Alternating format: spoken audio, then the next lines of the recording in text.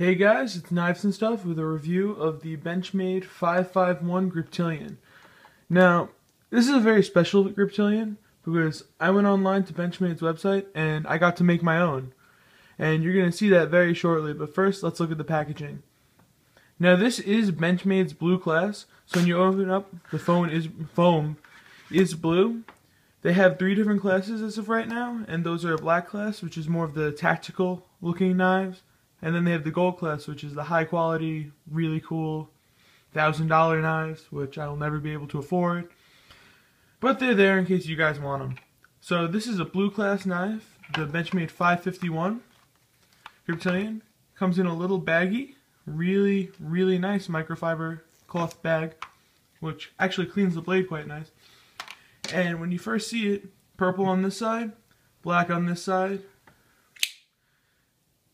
Batman on the blade, do I really look like a guy with a plan? From The Dark Knight, when Joker is dressed up as the nurse. I just love that movie. I love Batman. I love everything about Batman. He's my favorite superhero. And now I've just been rambling on, so let's get to the blade. Got my ruler meter stick thing here. Three and a half inch blade. Axis lock, by the way. Smooth. I just can't stop playing with this thing. Really, I can't stop. Let me get back in the camera. That's how smooth it is. Even when it's open, that smooth. No play. Amazing. And now let me get my TI3. So we could look inside. Don't know if you could see it, but there are liners in there under the FRN. But it's kind of like a small eye shape with the dot where it comes up to here. The liner comes out to have some jimping. And then the phosphor bronze washer in there, phosphor bronze bushing, which just provides extra speed. They're actually pretty thick washers in there if you could see it. And I love it. Normally, FRN, people think it's cheap. But this is not cheap FRN. I mean, you could beat on this. It's not going to do anything. I also opted for the split arrow clip now, this is a little bit more expensive than the normal Griptilian that you could find on Amazon or preferably at blade retailers. Like, I got some good ones by me. I'll mention them on my Twitter. Follow me at KnifeGuy96. But back to the knife. People, Benchmade and Spyderco often look similar to me. Not in a bad way. They like when you copy other people's ideas, it can turn out for the better.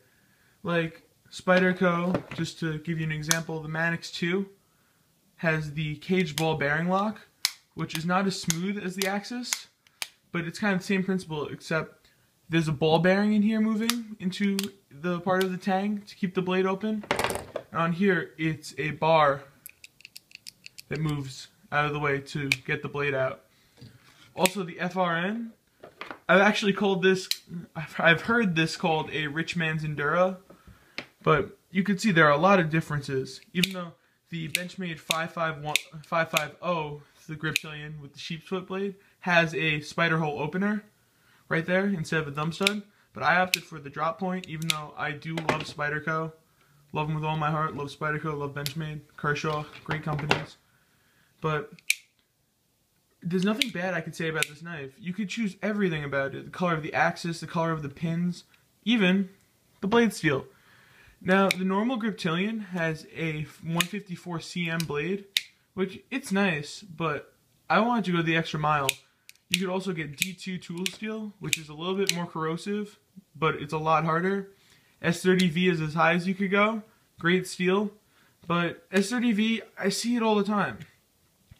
So I opted for, don't know if you can see it right there on the blade, N680, high corrosive resistance.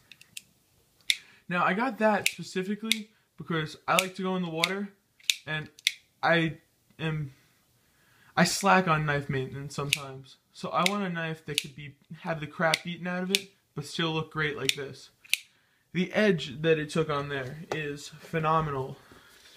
The edge that it actually came with wasn't too spectacular, but I spent a little time on the Spyderco Sharp Maker and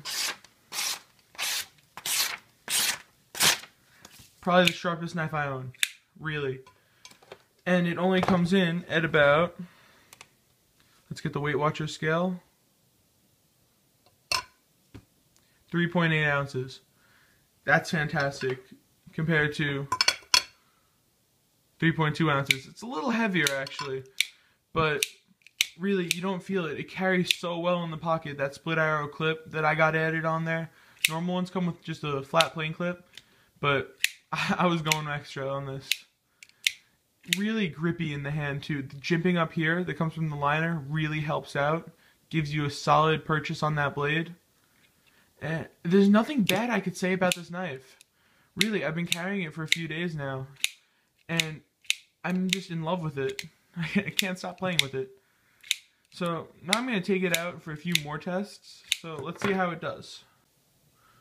Most likely, the Benchmade Griptilian is going to be your EDC knife.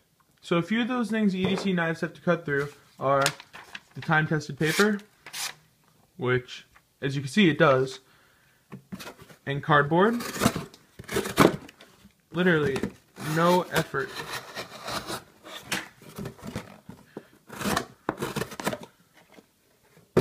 But a more annoying thing an EDC knife has to face is clamshell packaging.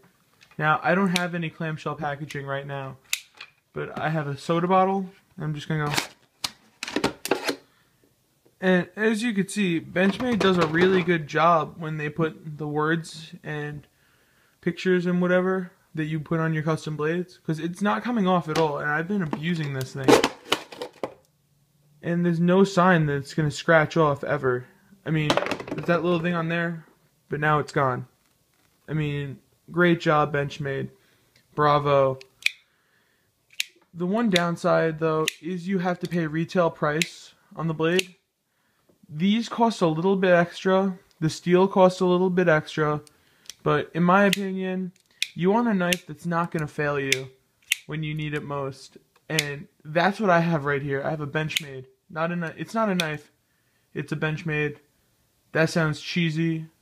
Probably shouldn't have said it that way, but it's true. Benchmade Spyderco. You buy a knife from a gas station, like a little cheapo knife, it's gonna rust, it's gonna break. You buy something like this, you're gonna be able to pass it down to your kids, and that's what I plan to do one day. Because this right now is probably the greatest blade I've ever owned. Griptilian, Mel Pardue designed made in America. They make it over in Oregon. And just that axis lock, I can't stop playing with it. Great for the reverse grip. Has jimping up here too. And it wins the award for the least cheap feeling FRN. I definitely got my money's worth. And I think you should go try out that creator. It's like Build-A-Bear for knives. So please like and comment down below. I'm going to put a link to my Twitter in the description. And please follow me there. I'd love to hear your comments, and I'd love to hear any suggestions for future videos. So, just thanks for watching. Have a great day.